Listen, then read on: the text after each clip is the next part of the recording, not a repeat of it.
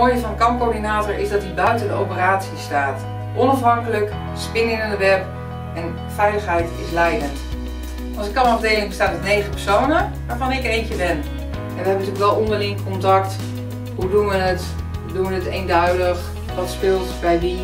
En bij de ander niet. Om te kijken van wat kunnen we eraan verbeteren. Na het wet en regelgeving komt er best wel veel op ons af.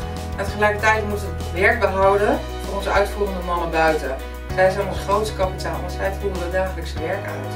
En als kampcoördinator heb ik daar een mooie brug in tussen binnen en buiten. Samen met de werkverantwoordelijken die we hier hebben, die ook veiligheidscoach zijn. Zowel de werkverantwoordelijke als ik gaan naar buiten. Wij gaan op bezoek bij de jongens, we gaan in gesprek met de jongens.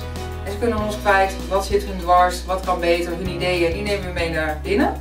Dan gaan we kijken hier hoe we dat op een effectieve manier kunnen insteken in de organisatie.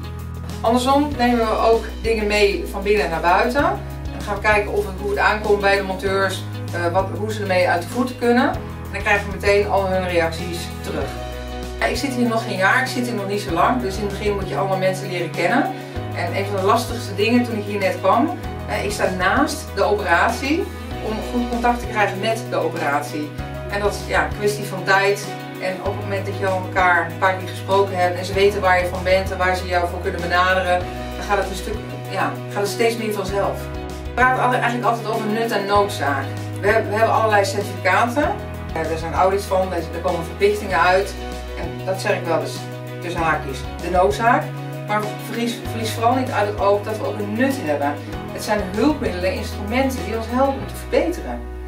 En dus ik probeer ook altijd de focus op die tweede te leggen. Dat zou ik dan eerder zeggen als een tip voor anderen. Niet alleen de noodzaak, maar vooral het nut. Wat brengt het ons? Wat brengt het ons verder? Wat leert het ons?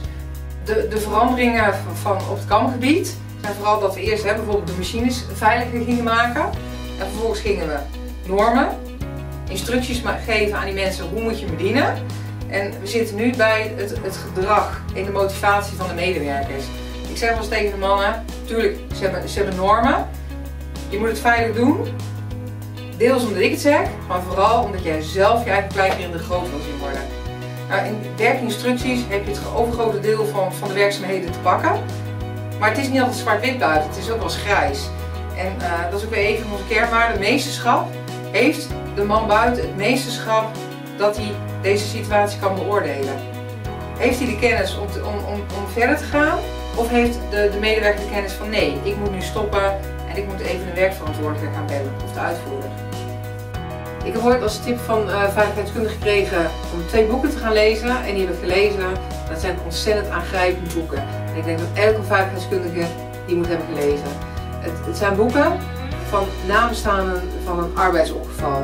Het zijn in dit geval twee vrouwen. Een man ging ochtends naar, naar, naar hun werk en kwam nooit meer terug. Wat er op hun afkomt voor ellende, voor verdriet, en ook daarna alles voor de eerste keer weer alleen doen. Het is zo ingrijpend dat je denkt, dit willen we nooit meer. Bij training kwam ik erachter dat veiligheidskundige een beroep was. Daar ging eigenlijk meteen de schakelaar bij om, dat ik dacht, dit vind ik gaaf.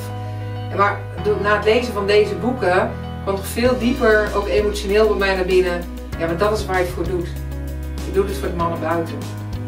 Dus op het moment dat ik ergens sta en denk, moet ik nou ingrijpen, moet ik iets doen, moet ik iets zeggen, moet ik iets niet doen, dan denk ik altijd, als ik het niet doe, kan ik mezelf dan s'avonds nog in de spiegel aankijken. Dat geef ik hier mensen op de werkvloer ook mee. Kun je jezelf s'avonds in de spiegel nog aankijken.